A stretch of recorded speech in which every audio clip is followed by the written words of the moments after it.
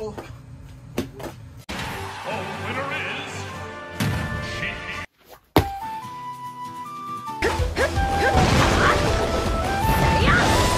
Why does everybody do windmills? Hey everybody, welcome back to uh, another kind of a tutorial. Today we're going to be focusing on Sheik's victory pose from Smash 4. So it seems like the windmill is a super popular move in video games and in anime and TV shows.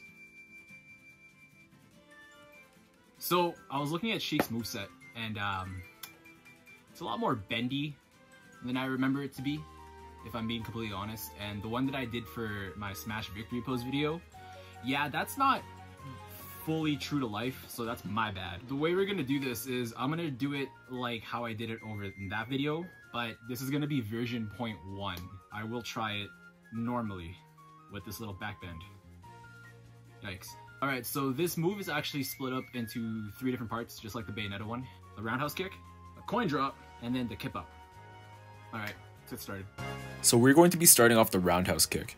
So with the round kicks, it's really important that you want to stretch and make sure that everything is really limber before you throw your kicks. I'm not going to be going over the round kick in detail, but rather just going over on how Sheik does it herself in the pose.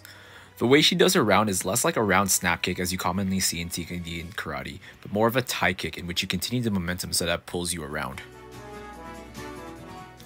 So with this kick, you want to break through the center line and continue that follow through all the way around. A tip that helped me a lot is by pulling the same side arm opposite of where your kick is going. This helps counterbalance and also throw up a quick parry. With this style of kick, you want to make sure to kick past your target and not to retract it once you make contact. Remember, when practicing kicks, always spot your target. Alright, cool. So next is the coin drop. We kind of covered this in the Bayonetta video. Alright, some tips and tricks for this one. So one thing that will help your air swipe is by taking a piece of paper, ideally square, so that you can start visualizing it on the ground. From here you want to go 90 degrees, so on each side of the piece of paper. Once you start getting used to that, you can start doing a full 180 degrees, just like so. This helps you get balance on your arms while you're going around. Once you're done that, you can try going three quarters of the way, then eventually you can try going all the way around. The longer you hold it, the better and easier it's going to be for your coin drop. Next thing I really want to hammer in is having that stab position in front of your body, kind of right here. You don't want it back here because you could break your arm that way, so you want it in front, just like so. And make sure you do that pushing motion. So again, we're to come down and we're to have that arm in front, just like this. I'm to slow the next couple of clips down for study material. See how my legs are always open? It's important that they don't close up so that you can keep the power going. Both of my legs are actually kicking as I come down into the drop, with my right leg leading the spin. You finally get used to the coin drop, you want to make sure your upper shoulders. That way you're not on your lower back and you won't be slamming your back on the ground every single time. The last part is just getting back up from a single coin drop. So an easy way to do this is getting your bum, sticking it out, and pushing at the same time.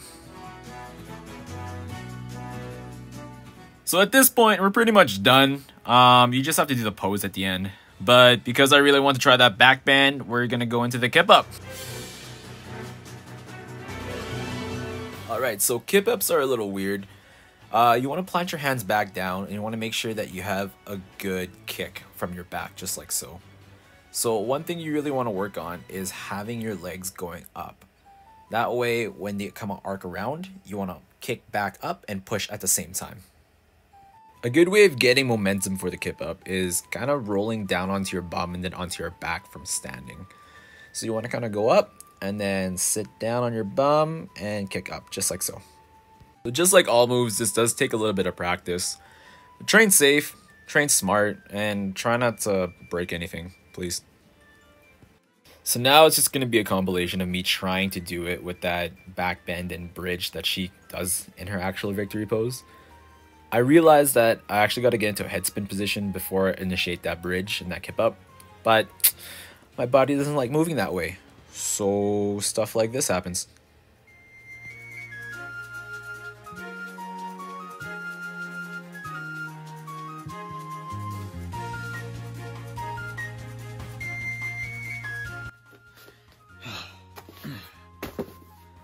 All right, so um,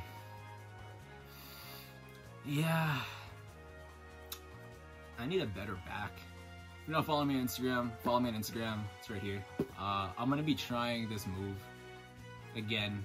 The bridge is a really big part of this move, and my bridge isn't very good due to a shoulder injury that I have sustained over the years.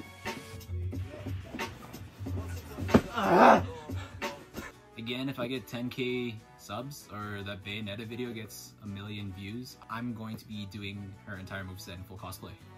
So, um, like, share, subscribe. I can't believe I just said that. Cool. See you next time.